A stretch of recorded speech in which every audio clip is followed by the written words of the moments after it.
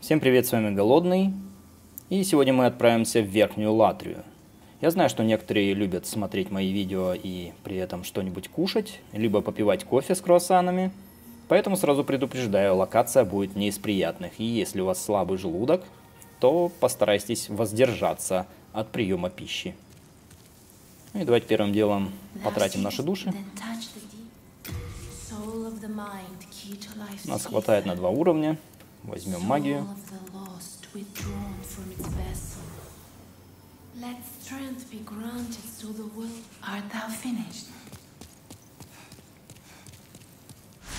Верхняя Латрия. Возможно, кто-то забыл, что это за место. Обелис демона, известного как Идол Глупцов. Вера выдал, созданный по образу и подобию королевы, подарила узникам надежду, но темная злоба безжалостно задушила их робкие мечты. Как мы знаем из предыдущих серий, некий монарх, которого изгнала королева, вернулся в желтых демонических одеяниях вместе с армией демонов и погубил это когда-то прекрасное место.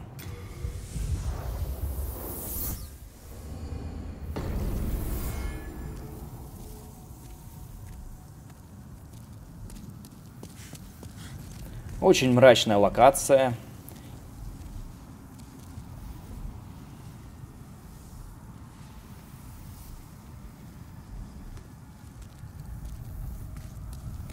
я считаю, что в ремастере она стала еще мрачнее.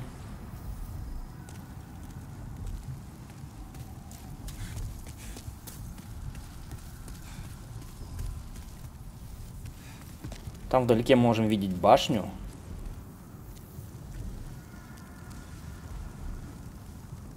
от которой идет цепь. Также есть еще и вторая такая же башня, от которой также отходит цепь. И эти две цепи держат огромное сердце, которое находится в центральной башне.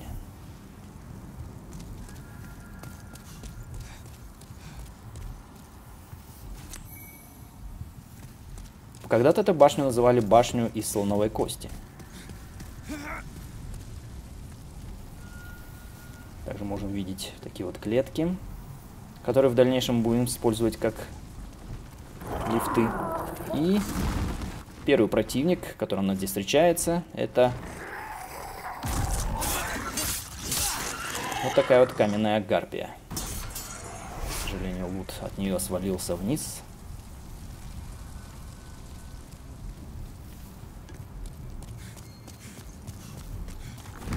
Может показаться, что это каменные статуи, но Впоследствии они оживают.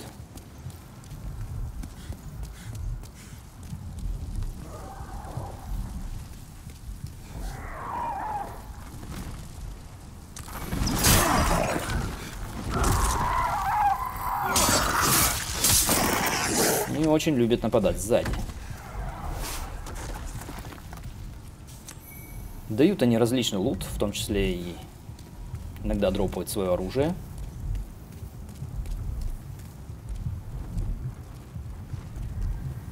Здесь у нас опять встречается зеленое пламя.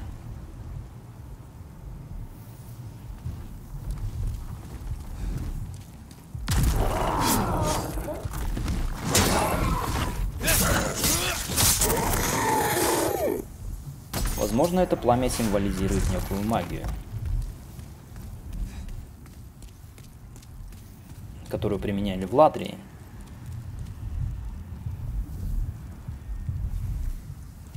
И здесь у нас два пути. Один сходить туда вниз, а второй это подняться наверх. И пока что вниз идти бесполезно, там все равно все закрыто. Сначала сходим наверх.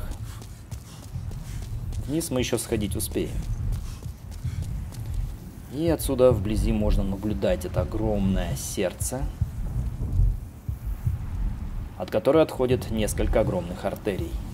И давайте включим фоторежим, чтобы рассмотреть его поближе. На этом сердце можно видеть, что оно как бы сшито из большого количества кусков плоти. И чтобы это лучше все держалось, также оно еще и обвязано веревкой. Артерия от этого сердца уходит глубоко вниз.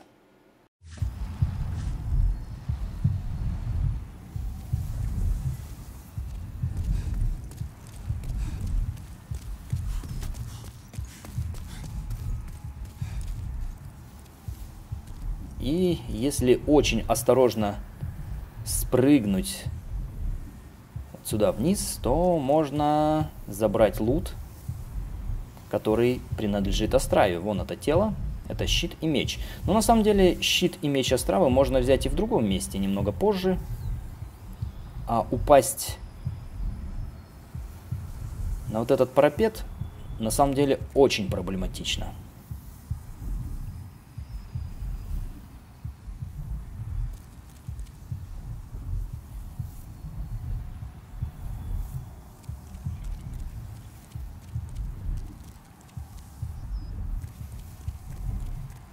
Здесь нужна очень ювелирная точность, но, к сожалению, с первого раза у меня не получилось. Так, я снова здесь. Возможно,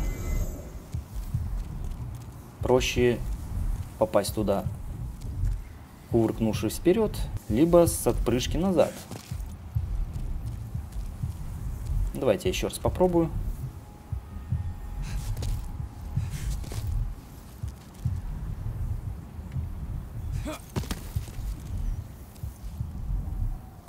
Фух. Ну, кое-как у меня это получилось. И это рунный щит и рунный меч. Если пройти дальше, то здесь ничего нет, только обрыв в бездну.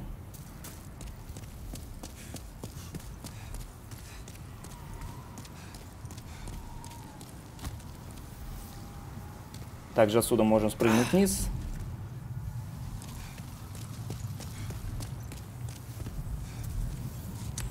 Забрать осколок камня лунного света.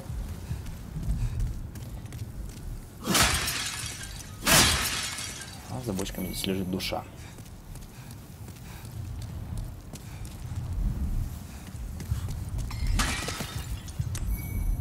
пара выдержанных пряностей. И это то самое место, которое я говорил, что пока что сюда вниз нам идти не нужно. То есть можно спуститься еще ниже, но я туда пока что не пойду.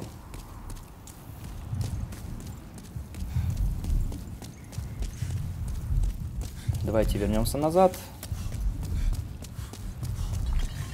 Поднимемся наверх.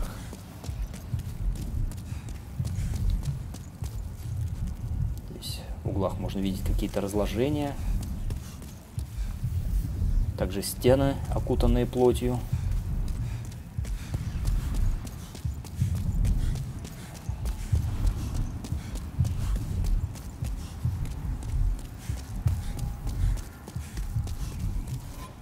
Кстати, да, я забыл почитать. Руны меч, замысловатый золотой меч. Физическая атака такого меча ничтожно слаба, но его владельца защищает от магических атак таинственная сила. Принадлежал легендарному герою, который также носил рунный щит. Замысловатый золотой щит необычной конструкции, таинственная сила защищает его владельца от магических атак. Принадлежал легендарному герою, который также носил рунный меч. Но что самое интересное, что Острава-то у нас ни черта не легендарный герой. Возможно, он просто где-то их нашел. И они ему так понравились, что он решил оставить их себе.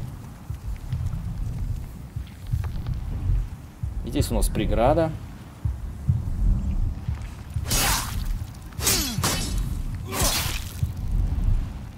Это сердце перекрывает нам проход. И чтобы дальше пройти к боссу, нам нужно с этим сердцем что-то сделать.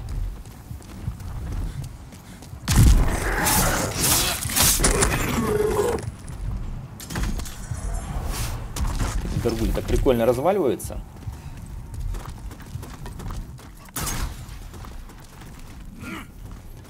Некоторые горгули используют арбалет, который также с них дропается. Но, да, что-то мне сегодня с лутом не везет, все он куда-то проваливается. Вот почему бы просто не забрать его с земли? Вот этот арбалет лежит, пожалуйста, бери, но нет.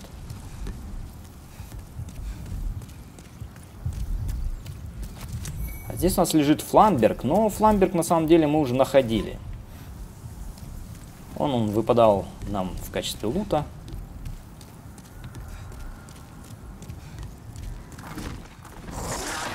Здесь нужно быть осторожней.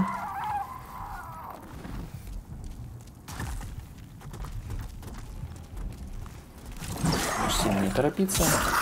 Расправится сначала с той, которая держит пику. Кстати, пика также с них дропается иногда.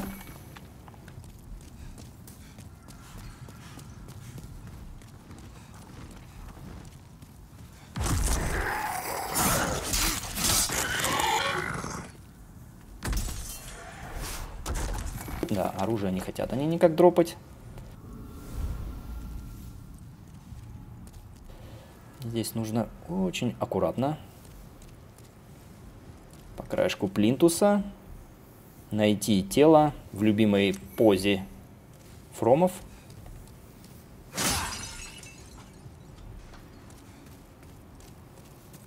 И мы поднимаемся на первую башню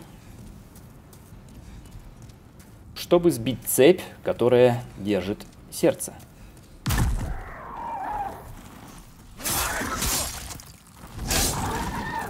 Так, я не понял, ты... Ну, такое было ощущение, как будто он еще живой.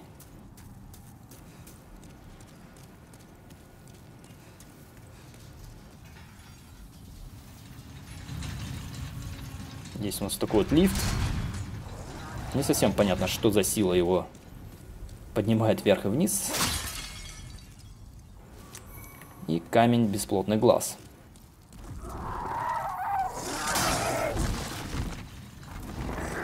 Ну, по идее, можно на нее забить, наверное.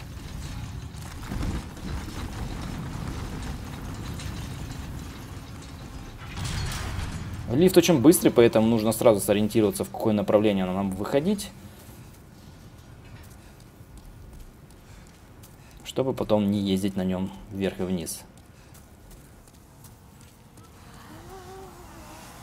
И здесь у нас такая вот картина.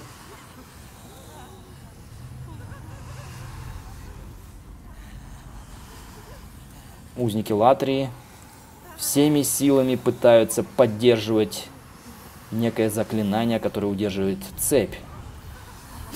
Подобных узников мы уже видели в Латрии.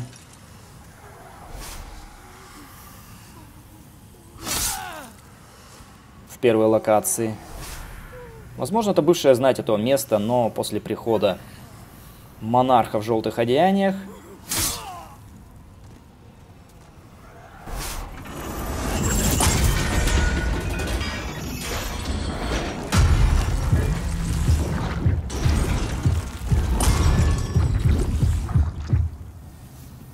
их всех позапирали в тюрьмы, а кого-то используют для каких-то своих целей. Как вы могли заметить, у сердца еще есть и руки, которые пытаются удержаться за колонны, но силы этих рук не хватает. И здесь при чисто светлой тенденции в будущем появится мостик. Пока что здесь провал. Поднявшись наверх, мы сможем найти ключ, при помощи которого мы сможем открыть камеру, где содержит Райдела.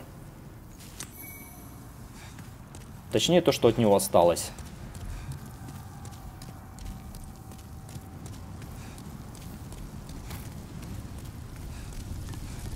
Еще несколько тел.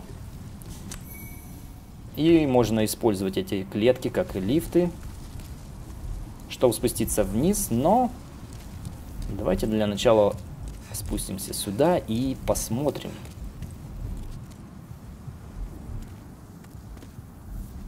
Кто-то раскидал там путеводные камни.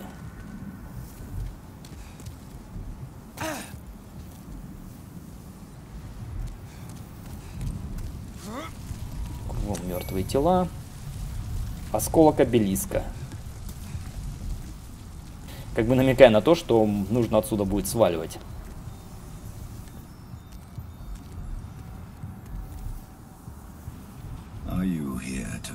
Demons? If so, then help me escape this place. I am on your side. I have come to face the demons. И у нас дилемма освободить его, либо оставить гнить в этой клетке. Это юрт, о котором нам уже говорила Юрия, а также Лоскутик. Мы много о нем наслышаны.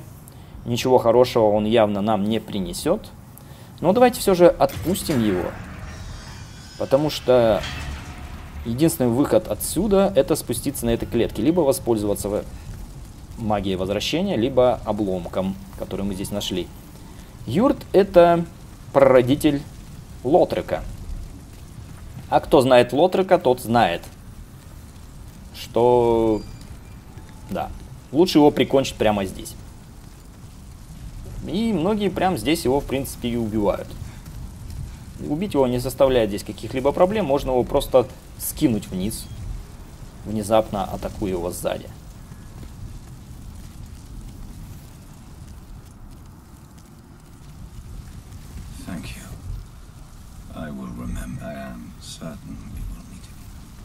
И на самом деле это будет неплохим решением, но я все-таки оставлю его пока в живых, чтобы показать, что будет дальше,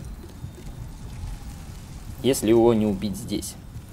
А после этого мы можем воспользоваться его клеткой. И это очень странно, почему сам Юрт не мог спуститься на ней вниз. Возможно, его карма настолько темная, что даже лифт решил его изолировать ото всех.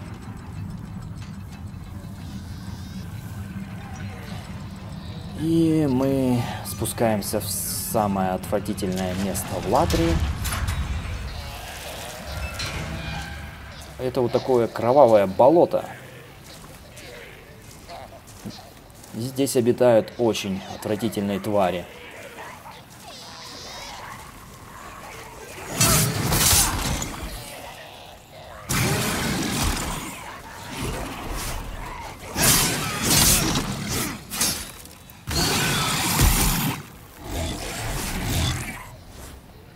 Которые состоят из кусков человеческой плоти,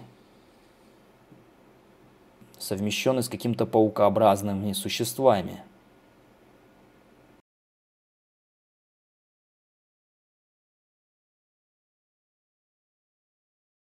Да, в ремастере очень постарались, чтобы представить этих чудовищ как можно противней. Можно видеть большое количество лиц на его теле которые застыли в ужасной гримасе. Также можно видеть, что они сшиты.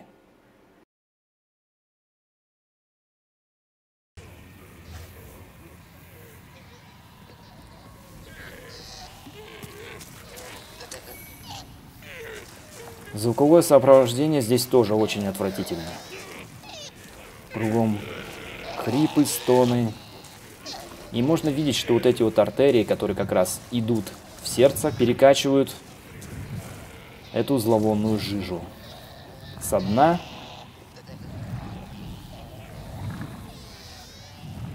Дальше эта жижа из крови и плоти идет в сердце.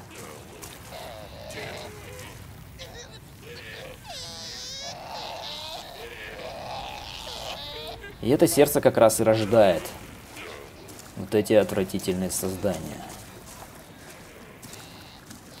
А, по идее,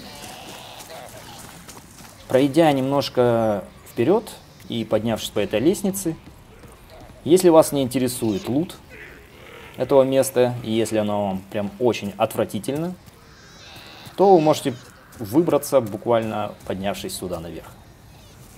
И пройдя немного вперед.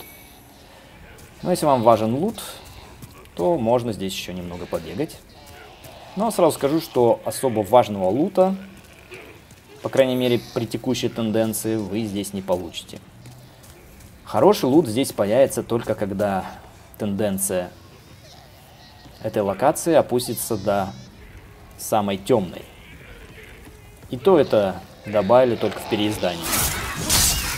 Здесь появится колечко, при помощи которого можно будет быстро перемещаться по ядовитому болоту. Из локации 5.2. А это, я хочу сказать, очень сильно упрощает прохождение этой локации. Поэтому, если вы хотите испытывать меньше проблем в пятой локации, то лучше это количество, конечно, все-таки взять. В ремастере его добавили, но чтобы его взять, это нужно прям очень и очень быть догадливым. Либо пользоваться Википедией, конечно же. И по вот этим мостикам мы добираемся до вот такого островка. Кстати, при чисто темной тенденции здесь также будет еще и первородный демон. Так, и мы перегружены. Давайте выложим камни. Ненужное оружие. Кольцо сопротивления болезни. Да, вроде неплохо, но такое кольцо у нас уже есть.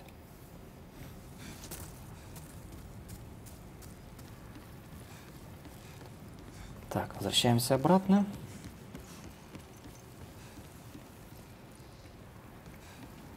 Сначала обследуем все сверху, а потом спустимся в эту кровавую баню.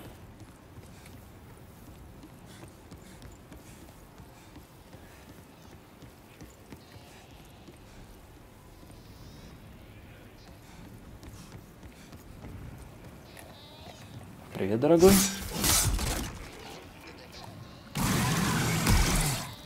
Когда они умирают, у них отваливаются хвосты. Красавчик. А этот еще, похоже, не дорос.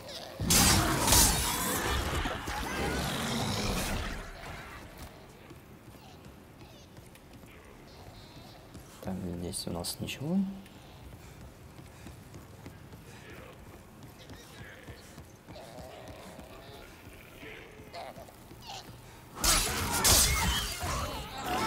Здесь еще два лифта, которые также могут вас поднять наверх. А ну там мы уже были.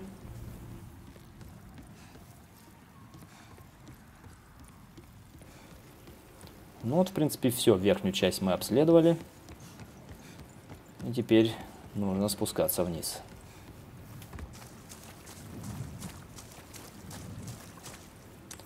Ароматное кольцо. Да, не проходит уже лут, но, учитывая то, что я начинал эту игру зазнать, это кольцо у меня также есть. По-моему, Лоскутик его продает аж то ли за 50, то ли за 60 тысяч.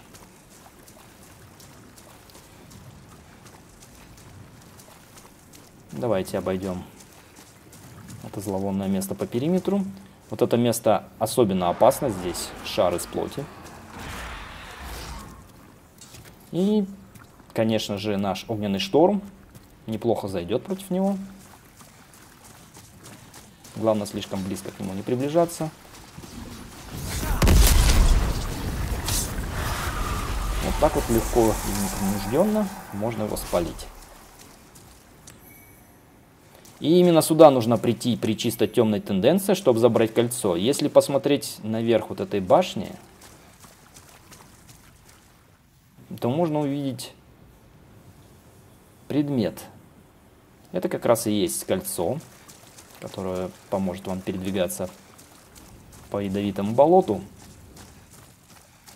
Но, к сожалению, взять его пока что не получится. Нам нужна чисто темная тенденция.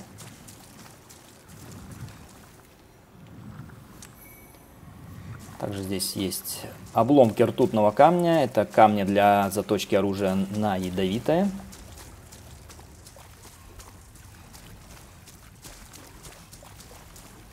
Ну, в принципе, все. Больше здесь ничего ценного-то и не осталось. Можно, конечно, еще тут побегать немножко.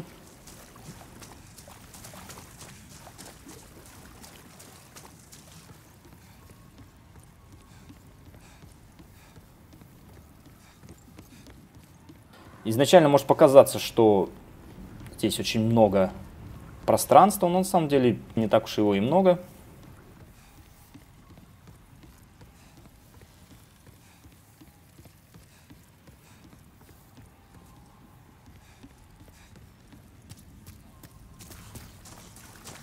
Единственное, я, по-моему, здесь еще не был. Ну, здесь, наверное, какие-нибудь максимум материала для апгрейда. Либо души. Душа.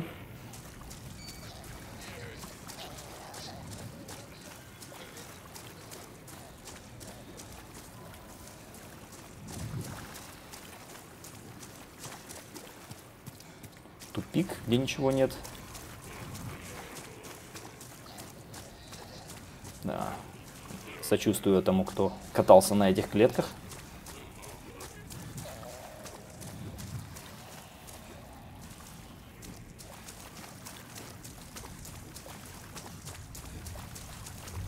Я так понимаю, какие-то из этих артерий закачивают эту жижу в сердце, а другие поставляют сюда вот этих вот ужасных монстров.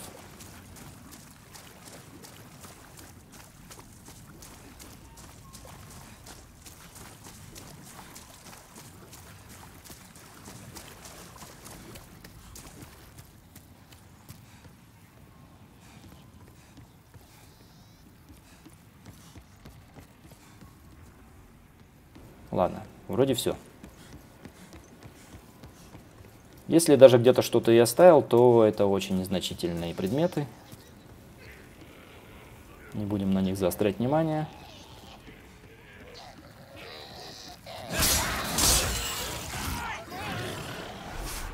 Да, души не дают чрезвычайно мало.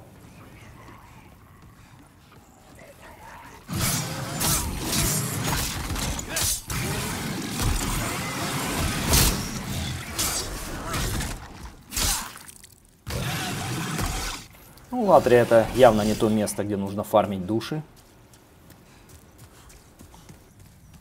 Для этого есть четвертый мир.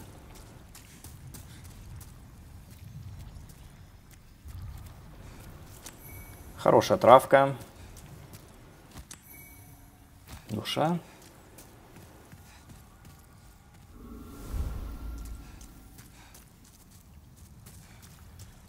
И здесь сейчас будет неприятный противник. Поэтому давайте лучше истратим траву, чтобы подлечиться на всякий случай.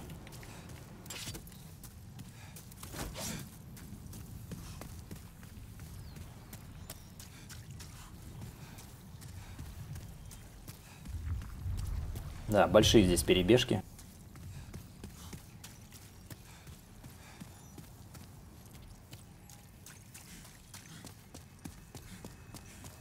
Да, и вот он. Этот темный фантом, вот о чем я и говорил. Он очень опасен. Воу-воу. Фух.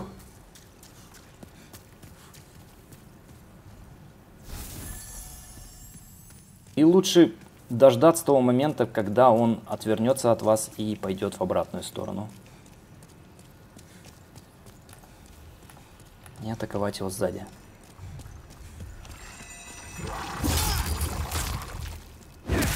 Ну а дальше уже, как говорится, дело техники.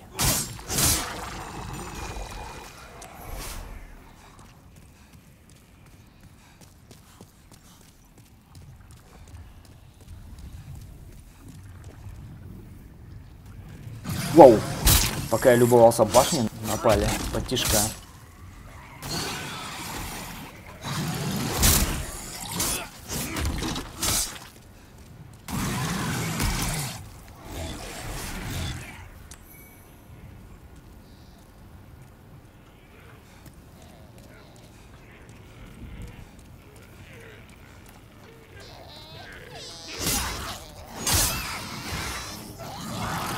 Давайте поближе осмотрим вот этого маленького.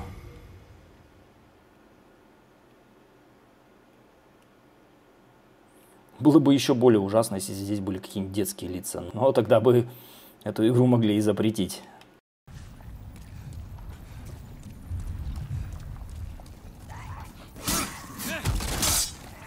Убийство детей это, можно сказать, табу в игровой индустрии.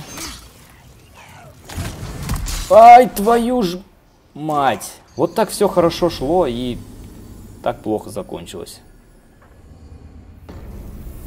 И теперь, как говорится, пилите, Шура, пилите. Ну что ж, я снова здесь. Пришлось немножко пробежаться, но, правда, есть один маленький плюс. Горгули мне дали свой арбалет. Такими арбалетами вооружены каменные горгули и латрии – его могущество увеличивается в соответствии с силой магии владельца. Неплохой арбалет для мага. Требования у него не такие большие. Нужно всего лишь накопить 12 силы. У нас 11.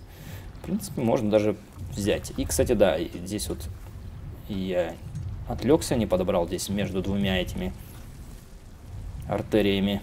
Есть предмет, это 4 выдержанные пряности. Кстати, что у нас с пряностями? Свежих 38, выдержанных 18. Да, достаточно.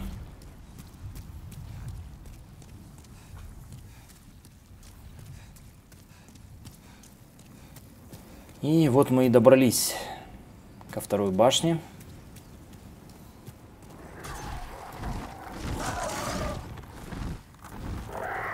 Осталось только не свалиться с этого моста.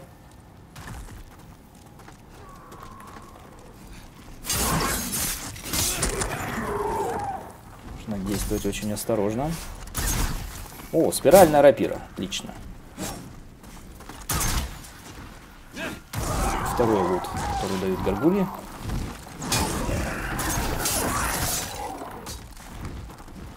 Да как же так?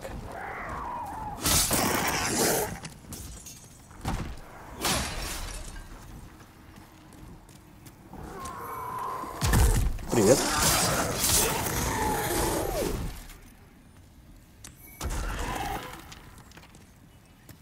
Вторую башню Гаргуля охраняет более яростно. Здесь также лифт, к нему можно подойти здесь как с одной, так и с другой стороны. Давайте обойдем с другой, чтобы удостовериться точно, что я ничего не пропустил. И, судя по всему, да, эта башня явно выше.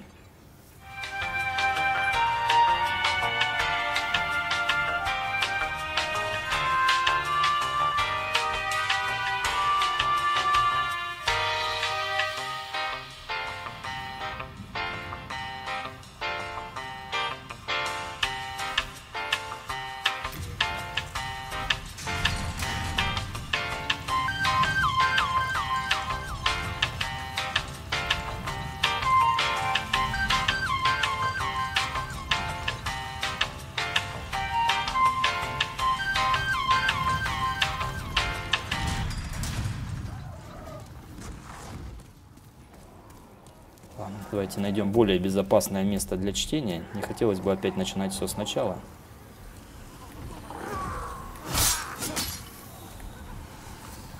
Вторглас Гаргулия.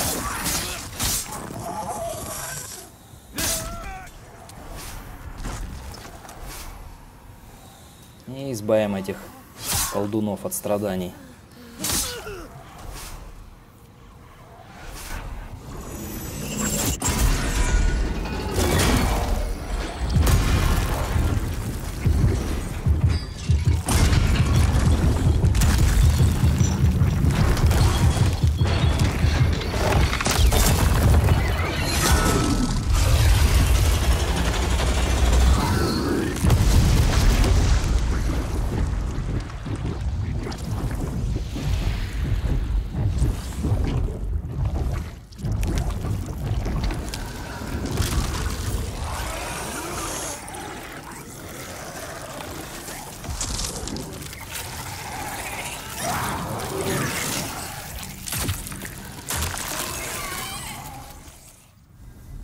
Избавили Латрию от этого гнусного эксперимента.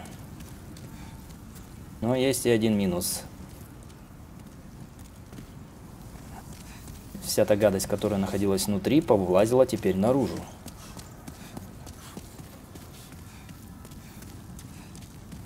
Похоже, что монарху в желтых одеяниях явно снесло башню, раз он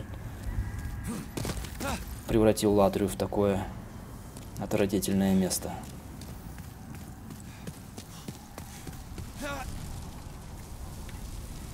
Отсюда можно сбегать к обелиску, Nexus.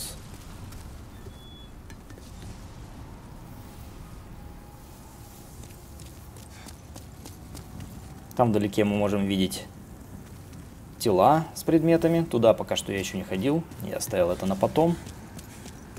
Сейчас как раз мы туда и сходим. Единственное, что теперь стало немножечко сложнее, так как к горгулям здесь еще и добавились Вот эти вот ксеноморфы.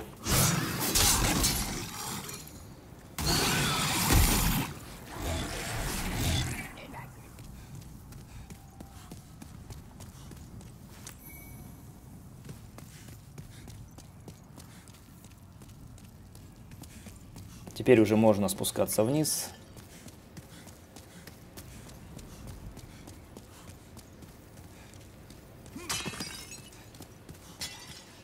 Отсюда можем видеть упавшее сверху сердце.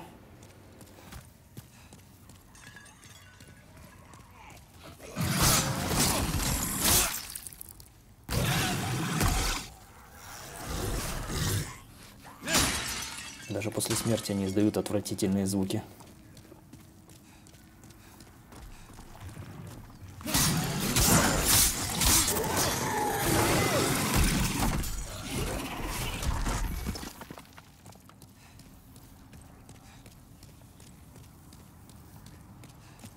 Если бы я пришел сюда раньше, то вот этот проход был бы прегражден.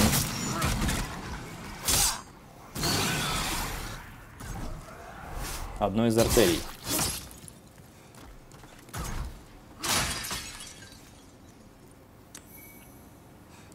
Теперь проход открыт. И мы можем забрать оттуда полезный лут. А лут там на самом деле действительно полезный.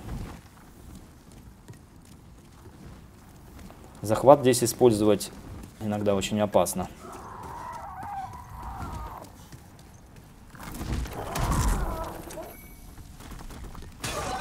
Здесь у нас камни.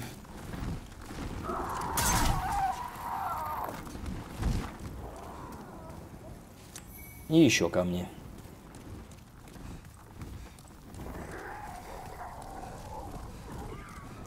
Ладно, раз она не хочет нас пикировать, то и мы не будем ждать, пока она соизволит это сделать.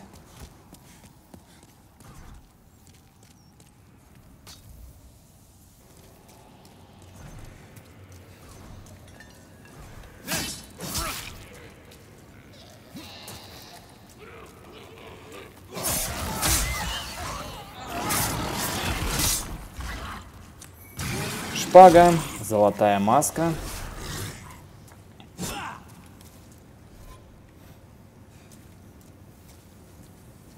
Кольцо алчности.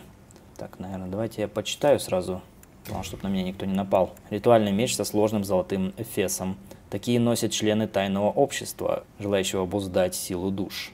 На рапиру наложено могущественное заклинание огня. Отчасти поэтому владелец этого оружия так сильно боятся. По-моему, это шпага Мефистофеля, так же, как и золотая маска. Золотая маска тонкой работы. Такие маски носили высокопоставленные участницы тайного общества, желавшего обуздать силу душ. Ну и наверняка вы уже догадались, что дает кольцо алчности. Роскошное золотое кольцо с крупным самоцветом. Его владелец получает больше душ, убивая врагов. Символ былого достатка и распущенности. Да, судя по всему, Латрия была именно таким местом. Где царил достаток и распущенность.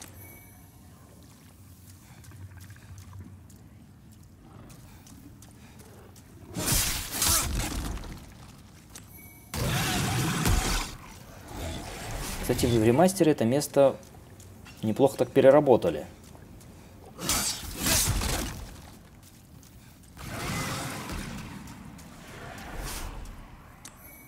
В оригинале здесь, по-моему, вообще была яма, в которую было очень легко провалиться.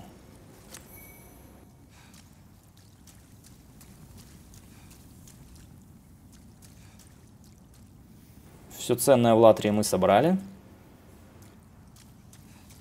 Теперь можно со спокойной совестью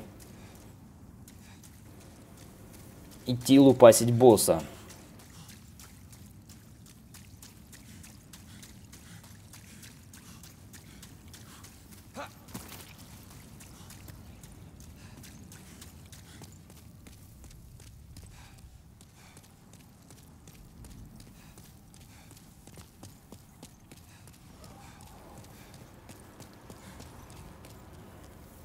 Да. Очень мрачно и атмосферно.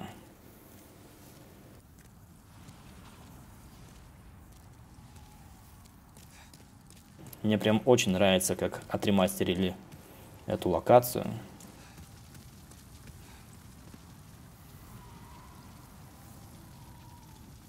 Некоторые считают, что она стала светлее, не такой атмосферной, но, как я считаю, все сделано очень грамотно.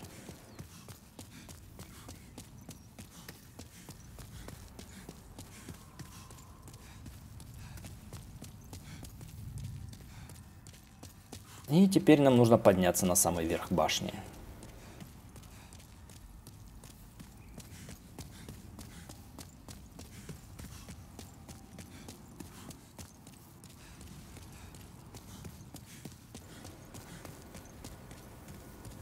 Теперь нам ничего не мешает.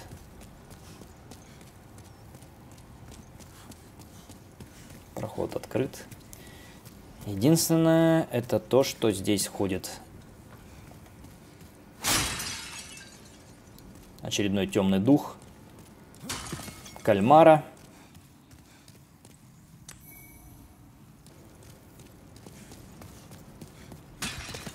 Сразу вспомнилась игра в кальмара, которую наверняка уже все посмотрели.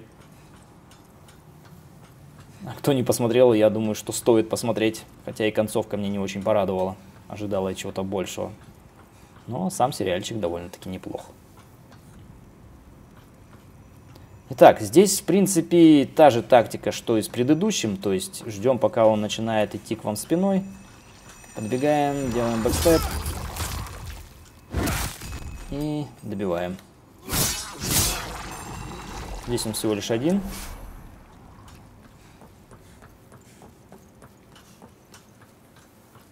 Многие мне спрашивают, почему у меня от меня нет никакой информации по Elden Ring. Ну, нет никакой информации, потому что мне не дали ключ доступа. Покупать его за деньги, я считаю, это маразм.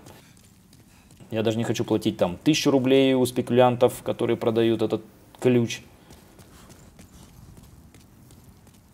Я так понимаю, все равно бы я бы вам полноценно не смог показать э, эту бетку, даже если бы мне дали ключ, потому что это закрытая бета, и если начать стримить, либо записывать видосы прохождения этой бетки, то можно нарваться на страйк на канал. Однажды я уже получал страйк на канал, потом полгода на твоем канале висят ограничения, ты не можешь стримить. Кстати, с той стороны тоже предмет лежит. Ты не получаешь монетизацию. Вплоть вообще может быть до блокировки канала. Просто нужно подождать еще три месяца и поиграть уже в нормальную полноценную версию.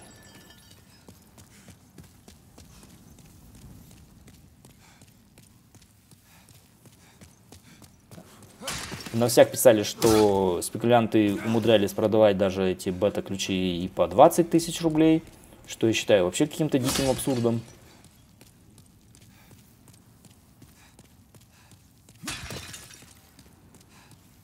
Ну, наверное, у поклонников Dark Souls очень много денег.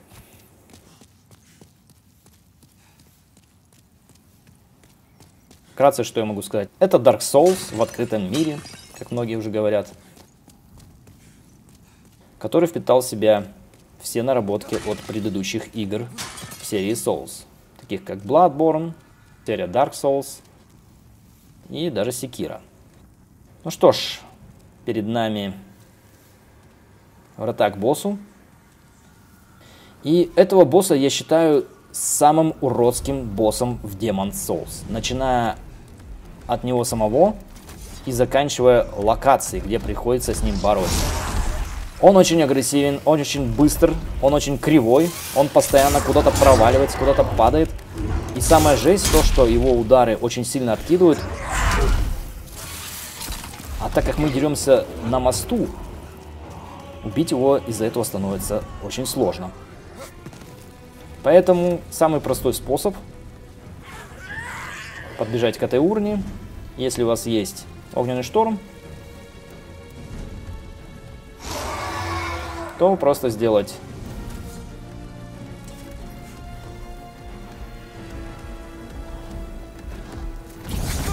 большой бах. И, о чудо, я ни разу не попал.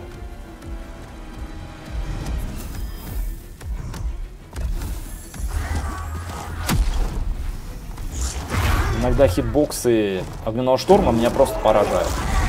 Просто посмотрите, как эта тварь двигается. Это просто какое-то дикое читерство. Но самая жесть в том, что на помощь к этой твари немного позже присоединится вторая тварь.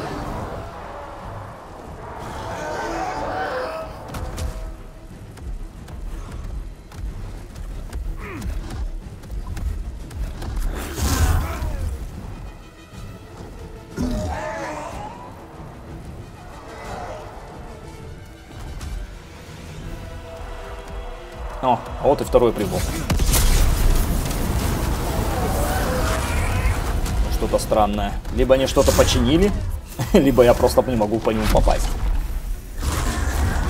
И когда их становится двое, начинает происходить вообще полная жесть. Вот, наконец-то. Хотя бы разок его зацепил. Также они еще и отравляют.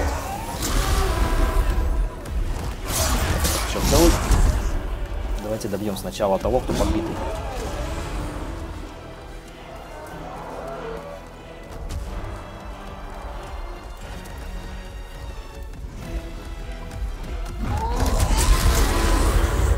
Да что я делаю? У меня палка в руках. Хотел мечом ударить.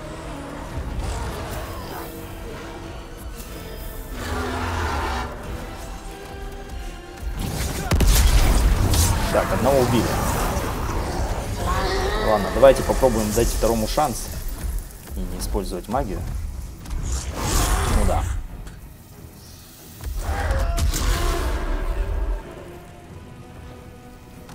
Хотя, возможно, я сейчас и передумаю.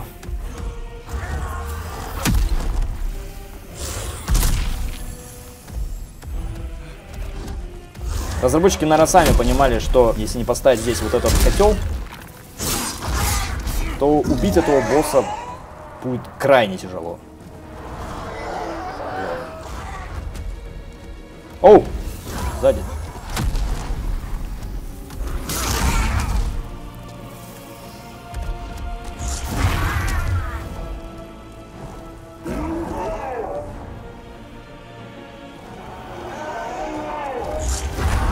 Я чувствую, сейчас все закончится тем, что я просто грохнусь куда-нибудь вниз. Вот я уже практически это сделал. Бежим! Нет!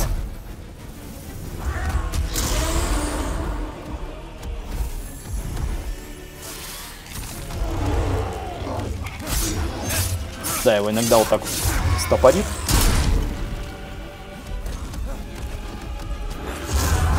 Как он так достает-то, а?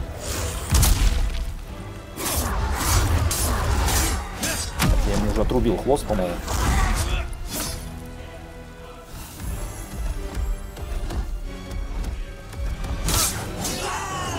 Стоп.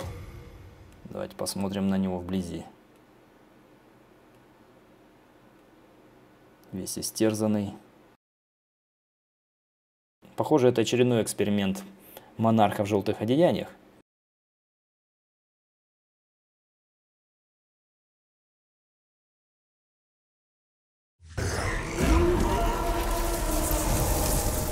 Подобный экспериментатор нам уже встречался в серии Dark Souls. Это был Ногой Сид. Дают за людоеда всего 13 880 душ. Могли бы и побольше, если честно. Босс реально тот еще геморрой.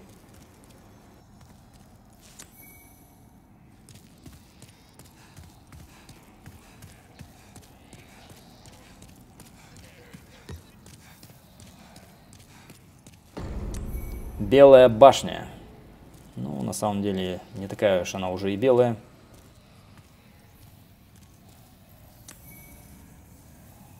Берем пеструю душу демона. Обелиск демонов, известных как людоеды. Новый владыка Латрии, старик, давно утративший человеческую сущность, создает ужасающих демонов из плоти узников, томящихся в висячих клетках. Ну вот и здесь уже все становится предельно ясно, что здесь, мать его, происходит. Если кто не помнит, давайте еще почитаем «Тюрьму надежды». Латрия – край, где стоит белая башня королевы.